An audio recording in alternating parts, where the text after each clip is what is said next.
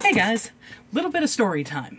So, back in 2020, at the beginning of the year, I reconnected with a friend of mine named Michael, who was living in Austin at the time. Well, Thanksgiving of that year, he put out a Facebook status that said, Hey, who wants to play some games of chess with me? And I knew how to move the pieces. That was really the extent of my knowledge back then. Sorry for the lighting change. I'm calling up websites, catch up on other YouTube videos I want to watch.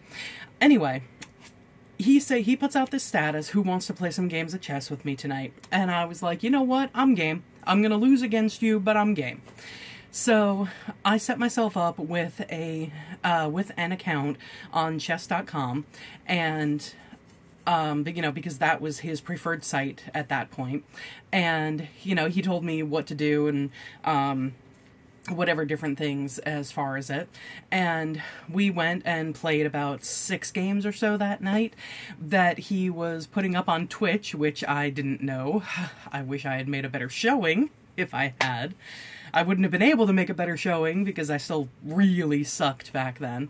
But anyway, after those games, he said that hey if you want to keep playing we can do 24 hour games which is basically as long as the person each of each opponent makes a move within 24 hours the game keeps going so it can actually last multiple days so that's what we did and as it went on you know uh you know then over the next couple of days i was like you know what I'm I'm sucking as an opponent as an opponent against him. I want to be a better one. So I went to YouTube and I was like, you know, I don't remember what I typed in, but it was different different things with chess and you know beginner things and uh, strategies and openings and all that kind of stuff. Eventually, I don't remember exactly when, it was probably a few weeks later, but eventually I found the YouTuber Gotham Chess, who is a guy named Levy Rozman, and he lives in New York. Um, he, you know, does chess competitively, he participates in competitions, and he will look over different games, um, on chess.com and he has this series called guess the elo where he guesses what rank the opponents are um, depending on the moves and stuff that they make in their games and he is just a really enthusiastic and sarcastic and engaging YouTuber to watch the videos of. And so I started watching them. And a few weeks ago, I what was it? Yeah, probably probably just was a few weeks ago. I saw that he had put up a community post about releasing a how-to chess book and that he was doing a meet and greet at two different locations in New York.